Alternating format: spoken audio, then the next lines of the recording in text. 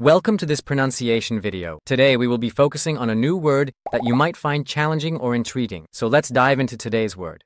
Опустить, which means, Lower in Russian. let's say it all together. Опустить. Опустить. Опустить. One more time. Опустить. Опустить. Опустить.